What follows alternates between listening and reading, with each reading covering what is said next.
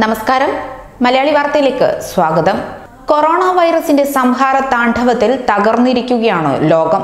നമുക്ക് നഷ്ടമായത് നിരവധി മനുഷ്യരെയാണ്. അതുകൊണ്ട് തന്നെ കോവിഡിനെതിരായ വാക്സിന് വേണ്ടി കാത്തിരിക്കുകയാണ് ലോകം.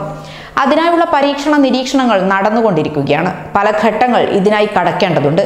സാധാരണഗതിയിൽ ഒരു വാക്സിൻ കണ്ടെത്താൻ പത്ത് വർഷം വരെ വേണ്ടി വരാറുണ്ട്. എന്നാൽ കൊറോണയുടെ കടന്നാക്രമണത്തിൽ മനുഷ്യർ ഈയാമ്പാറ്റകളെ പോലെ മരിച്ചു വീഴുമ്പോൾ കൊറോണയ്ക്കെതിരായ വാക്സിൻ പരീക്ഷണത്തിൽ എത്രയും വേഗം ലക്ഷ്യത്തിൽ എത്താനാണ് ശ്രമം. അപ്പോഴും അത് വിജയത്തിലെത്താൻ പന്ത്രണ്ടോ പതിനെട്ടോ മാസം വരെ എടുക്കാമെന്നാണ് വിലയിരുത്തൽ. രോഗവാഹകരെ തന്നെ പ്രതിരോധമായി ഉപയോഗിക്കുക എന്നതാണ് വാക്സിനേഷന്റെ പ്രധാന തത്വം. രോഗത്തിന് കാരണമാകുന്ന ബാക്ടീരിയയോ വൈറസിനെയോ അപകടകരമല്ലാത്ത അളവിലും രൂപത്തിലും വാക്സിനേഷൻ വഴി വ്യക്തിയുടെ ശരീരത്തിൽ എത്തിക്കുക എന്നതാണ് പ്രവർത്തനം. അതിനെ നശിപ്പിക്കാൻ ശരീരം ആന്റിബോഡി രൂപപ്പെടുത്തും. ഈ ആന്റിബോഡി ശരീരത്തിലുള്ള കാലം വരെ അത്തരം വൈറസിനെ അഥവാ ബാക്ടീരിയയെ ആ ശരീരം പ്രതിരോധിക്കും. വൈറസിനെ കുറിച്ചുള്ള വിശദമായ പഠനം ജന്തുകോശങ്ങളിലോ മനുഷ്യകോശങ്ങളിലോ എത്തുമ്പോഴുണ്ടാകുന്ന പ്രവർത്തനം ജനിതക വ്യതിയാനം തുടങ്ങിയ വിവിധ ഘട്ടങ്ങളിൽ കൂടി കടന്നാണ് ഒരു വാക്സിൻ രൂപപ്പെടുന്നത്. കോവിഡ് നയന്റീന് കാരണമാകുന്ന പുതിയ കൊറോണ വൈറസിന്റെ ജനിതക ഘടനയും പ്രോട്ടീൻ വിന്യാസവും അടക്കമുള്ള വിവരങ്ങൾ ജനുവരിയിൽ തന്നെ കണ്ടെത്തിയതായി റിപ്പോർട്ടുകളുണ്ട്. സാധ്യത വാക്സിനുകളെ മനസ്സിലാക്കുകയാണ് പിന്നീടുള്ള ഘട്ടം. ജനിതക മാറ്റമുള്ള വൈറസുകളെ വേർതിരിച്ചെടുത്ത് അതിന്റെ പ്രതിരോധശേഷി നിർണയിക്കും. വാക്സിൻ എങ്ങനെയാണ് ഉണ്ടാക്കേണ്ടത് ഡോസ് എത്ര എന്ന് തുടങ്ങിയവയെക്കുറിച്ചും അപ്പോൾ തന്നെ ധാരണ ലഭിക്കും. അടുത്തത് പ്രീ ക്ലിനിക്കൽ ട്രയലാണ്. അതായത് വാക്സിൻ പ്രായോഗിക ഘട്ടത്തിലേക്ക് കടക്കും മുൻപുള്ള പരീക്ഷണം. കോശപദാർത്ഥങ്ങളെ ടെസ്റ്റ് ട്യൂബിൽ എത്തിച്ച് പരീക്ഷിക്കുന്ന ഇൻവിട്രോ രീതിയാണ് ഇവിടെ നിർദ്ദേശിക്കുന്നത്. മൃഗങ്ങളിൽ നേരിട്ട് പരീക്ഷിക്കുന്ന ഇൻവിവോ രീതിയും ചിലപ്പോൾ അവലംബിക്കാറുണ്ട്. മരുന്നിന്റെ ഉപയോഗക്ഷമത സുരക്ഷിതത്വം എന്നിവ പരിശോധിക്കുന്നത് ഈ ഘട്ടത്തിലാണ്. മൃഗങ്ങളെ പരീക്ഷണ വസ്തുവാക്കുന്നതിന്റെ പേരിൽ പല വിവാദങ്ങളും ക്ഷണിച്ചു വരുത്തിയിട്ടുണ്ട് ഈ ഒരു സ്റ്റേജ്. പിന്നീടുള്ളത് ക്ലിനിക്കൽ ട്രയലാണ്. മിക്കവാറും വാക്സിൻ പരീക്ഷണങ്ങൾ പരാജയപ്പെടുന്നതും ഈ ഘട്ടത്തിലാണ്. മൂന്ന് വ്യത്യസ്ത പരീക്ഷണ ഘട്ടങ്ങൾ പിന്നിട്ടാണ് ക്ലിനിക്കൽ ട്രയൽ പൂർത്തിയാകുന്നത്.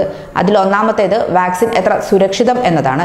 വിപരീത ഫലമുണ്ടോ തുടങ്ങിയ കാര്യങ്ങൾ പരിശോധിക്കുന്നതിന് തെരഞ്ഞെടുക്കപ്പെട്ട നാൽപ്പതോ അൻപത് ആരോഗ്യമുള്ള വളണ്ടിയർമാരിൽ ആദ്യം ഈ വാക്സിൻ പരീക്ഷിക്കും. രണ്ടാമത്തെ ഘട്ടം എന്നത് വാക്സിന്റെ ഫലപ്രാപ്തിയെക്കുറിച്ചുള്ള കൂടുതൽ വിപുലമായ പരീക്ഷണമാണ്. രോഗം പിടിപെടാൻ സാധ്യതയേറിയ ആളുകൾ ഉൾപ്പെടെ മുന്നൂറോളം വളണ്ടിയർമാരിലാണ് ഈ ഘട്ടത്തിലെ പരീക്ഷണം. മൂന്നാം ഘട്ടമാകുമ്പോൾ കൂടുതൽ ആളുകളിൽ വാക്സിൻ പരീക്ഷണം ആരംഭിക്കും. വാക്സിൻ എത്ര കാലത്തേക്ക് ഫലം നൽകുമെന്നത് സംബന്ധിച്ച ഗവേഷണം ഇതോടൊപ്പം തുടരും. ആവശ്യമനുസരിച്ച് ഈ ട്രയലുകൾ മാറാവുന്നതാണ്. ക്ലിനിക്കൽ ട്രയൽ പിന്നിട്ടാൽ പരീക്ഷണ വാക്സിനുകൾ രോഗം അതിഗുരുതരമായി ബാധിച്ചവരിൽ പരീക്ഷിക്കുക പോലും ചെയ്യാറുണ്ട്. അത് സാഹചര്യത്തിനനുസരിച്ച് മാറാം. കോവിഡ് പോലെ പെട്ടെന്നുണ്ടാകുന്ന പ്രതിസന്ധി കാലത്താണിത്. വാക്സിന് അംഗീകാരം നൽകാൻ ഓരോ രാജ്യത്തിനും തനത് സംവിധാനമുണ്ട്. ഇന്ത്യയിൽ drugs controller general India national regulatory authority എന്നിവയാണ് തീരുമാനിക്കേണ്ടത്. അംഗീകാരം നൽകണോ ക്ലിനിക്കൽ ട്രയൽ അനുവദിക്കണോ തുടങ്ങിയ തീരുമാനങ്ങളെല്ലാം തന്നെ ഡി സി ജി ഐയുടേതാണ്. ഇന്ത്യൻ കൗൺസിൽ ഓഫ് മെഡിക്കൽ റിസർച്ചിന്റെ അംഗീകാരം അടക്കം പരിശോധിച്ചായിരിക്കും ഡി സി ജി ഐയുടെ തീരുമാനം. വ്യാവസായിക ഉത്പാദനത്തിന് സെൻട്രൽ ലൈസൻസ് അപ്രൂവിംഗ് അതോറിറ്റിയുടെ അനുമതിയും ആവശ്യമാണ്. രാജ്യാന്തര ഉപയോഗത്തിന് U S food and drug administration European CE mark തുടങ്ങിയവ നിലവാരം ഉറപ്പുവരുത്തുന്നു അടിയന്തര ഘട്ടത്തിൽ നടപടികൾ പൂർത്തിയാകും മുൻപ് തന്നെ ഉപയോഗിക്കാനുള്ള വ്യവസ്ഥകളും പല രാജ്യങ്ങളിലുമുണ്ട്. മരുന്ന് നിർമ്മാണ കമ്പനികളും അക്കാഡമിക് സ്ഥാപനങ്ങളും ഉൾപ്പെടെ കൊറോണ വാക്സിൻ വികസിപ്പിക്കാനുള്ള നൂറോളം ഗവേഷണങ്ങളാണ് ഇപ്പോൾ ലോകത്ത് നടക്കുന്നത്. ഇവയിൽ ഏതെങ്കിലും ഒരു പരീക്ഷണം വിജയം കണ്ടാൽ ലോകം കാത്തിരിക്കുന്ന ആ ആശ്വാസ വാക്കുകൾ നമുക്ക് കേൾക്കാൻ സാധിക്കും. ന്യൂസ് ഡെസ്ക് മലയാളി വാർത്ത.